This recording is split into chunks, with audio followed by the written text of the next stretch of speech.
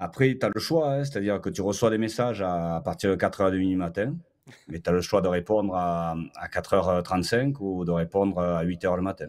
Mais euh, quand tu réponds à 8 h tu es, mort. Est-ce que c'est une légende? Marc Dalmazo euh, m'avait raconté en 2015 que parfois il y a des réunions à 5 h du matin et il faut que tout le monde soit là, enfin tout le monde, euh, le staff, hein, je rebondis sur ce que tu dis.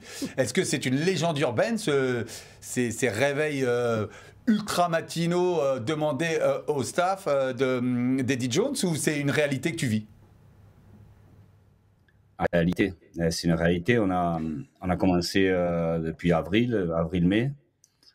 Bah, je t'assure, on, a, on a eu trois jours, trois jours off, je pense, depuis, depuis cette période-là. Et hum, après, tu as le choix, hein, c'est-à-dire que tu reçois des messages à, partir de 4h30 du matin.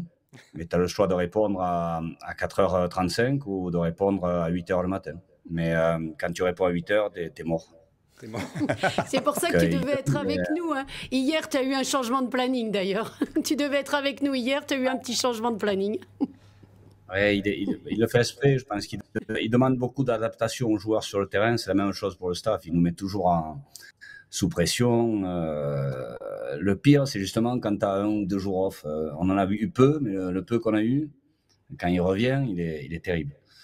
Mais euh, après, oui, c'est une, machine, une machine de travail. Hein, Eddie Jones, il place d'abord le travail d'ailleurs au-dessus de, tout, et même au-dessus de sa famille. Donc c'est quand même, il n'y a pas de vacances, il prend pas de vacances, et, il, voilà, il pense toujours au rugby. Donc c'est vrai qu'on peut avoir des réunions matinales.